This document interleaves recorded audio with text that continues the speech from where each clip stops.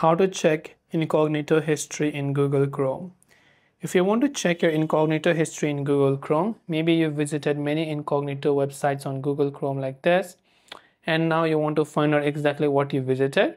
Well, that just uh, does not make sense because incognito was designed to make it private so that it becomes untrackable. So you will not be able to access it yourself, but there is still one person that has access to your incognito browsing history and that is your internet service provider. That's right. So even if chrome themselves does not have access to what you search during your incognito your internet service provider actually has the data now you can just give it a try by calling your internet service provider, letting them know of that the maybe the data is actually very important, but chances are very less that they're going to give you that information, but you can just try calling the customer service of your respective internet service provider if you visited it from your Wi-Fi by the way. So I'm not sure about mobile data, but if from your Wi-Fi, then your internet service or ISP will have access to all of your history so you can just try contacting them. But you yourself or Google Chrome themselves cannot actually help you.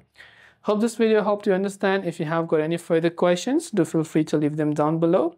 As always, thank you for watching and see you in the next video.